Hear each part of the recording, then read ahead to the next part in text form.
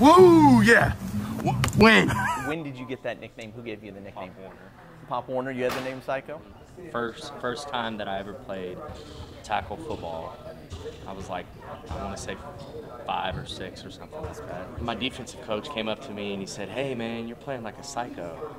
And me being a little kid, I didn't know, I didn't know that he meant that as a compliment. So of course I started crying and like bawling. My dad came over and I told him what happened, and my dad explained to me that it was meant as a good thing.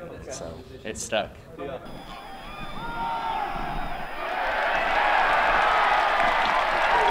I have a switch when, when game day comes.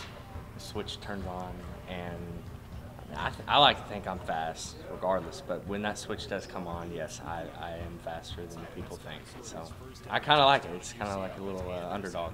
Gets dragged down behind the line of scrimmage by Justin Wright, the sophomore out of Abilene. Nice play. He, he's one of those guys that helped Zaven, uh, you know, make some of the plays that he made.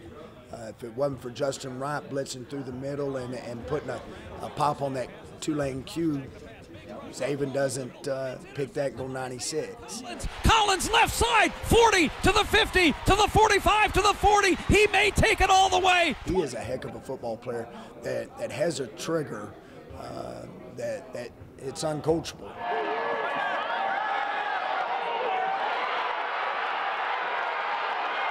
Zaven was a big mentor for me. So since Zaven has gone, the whole defense has known that we have to step up everywhere else. Yes, we've got some people that can not not be better than Zaven, but do do the job. I think we're going to be pretty good this year.